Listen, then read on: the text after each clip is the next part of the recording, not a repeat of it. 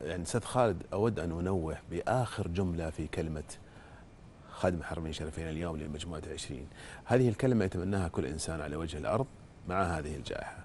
قال قال خادم الحرمين الشريفين إعادة الأمل والإطمئنان لشعوب العالم. الآن أسواق النفط تبحث عن هذا الإطمئنان. أسواق النفط تعيش مع هذه الجائحة. مع هذه السنة الاستثنائية في قمة 20 الاستثنائية تعيش تعيش أكبر صدمة للطلب على النفط في تاريخ صناعة النفط في المئة العام الماضية. تتكلم هشاشة اقتصاد عالمي من العام الماضي فكيف الآن مع الجائحة؟